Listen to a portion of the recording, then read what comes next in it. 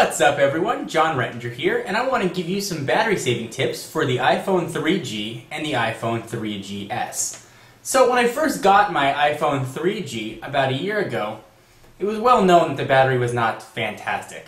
On the first day I used it, I charged it all the way up, I took it off the charger around 6 a.m., and come noontime, the thing was dead. The next week, with the same amount of usage, now I was getting till 3 o'clock. The next week, even with the same amount of usage, then I was suddenly getting to 4 o'clock, 5 o'clock, and I started to get much longer battery life out of the device. And I kept my usage constant, so I really was monitoring it very closely. So I want to share with you some of the tips that I learned with the 3G that I've carried over to the 3GS that have helped me maximize battery life. The 3GS does claim much better battery life than the 3G, and I'll show you how to maximize that to its fullest potential. So the first thing that I recommend is calibrating the battery. So what calibrating the battery is, you might be familiar with that term from uh, your laptop. So when you use your device, essentially you have a memory meter in the upper right hand corner. Either you're displaying the number or a visual representation. But that visual representation might not always be so accurate. Essentially what the phone needs is a reference point. And what calibrating does, it gives it an accurate reference point. It updates it. So the reference point that was in there when the phone was shipped was accurate, but a few days or weeks or even months later, that reference point may have shifted. So while your phone says you have 20% battery left, you in fact may have 30, 40%, or even 10% left. So to calibrate your battery and give you a more accurate sense of what you have, it's very easy to do. First, back up your phone just in case. Use it until it dies. Wait till you get the 20% warning, the 10% warning, and then the thing will just shut off. Take your phone, plug it into the wall, and let it sit for a good 8, 9, 10 hours, up to 12 hours if you can. Essentially what this does, it brings the battery down to zero, and from that zero standpoint, it establishes a new reference point back up to 100%. These new battery technologies don't really have memory, or at least you're not supposed to, but I have found that battery conditioning can also really help lengthen the life of the battery.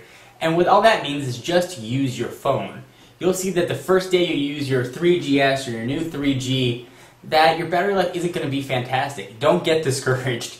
Keep using the phone, use it, charge it like you normally would, and your battery life will increase. I've had the 3GS now for, well, exactly a week, and my battery life has already increased drastically. I expect that to continue probably the next two to three weeks.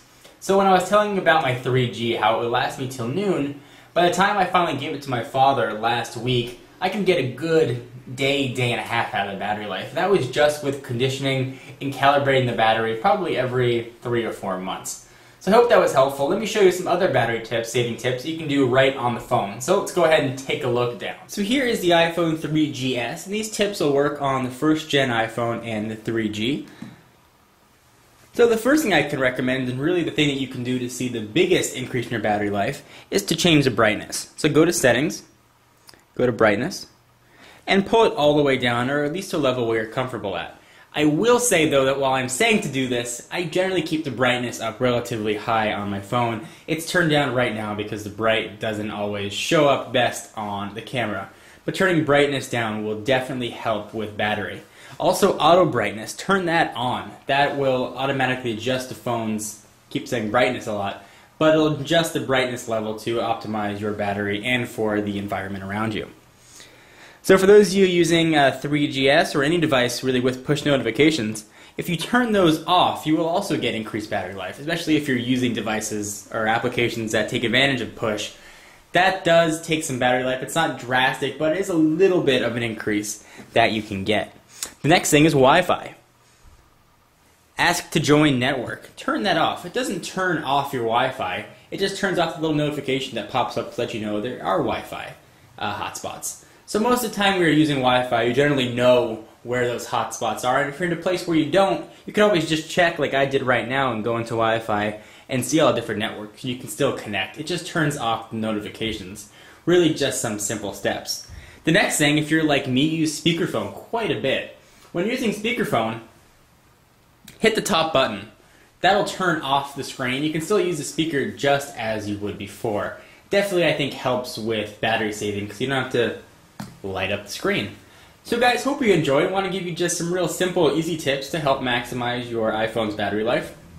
If I missed some tips that maybe you've come up with, leave them in the comments. You know, I'm sure people would love to find ways to help maximize the battery life on their device.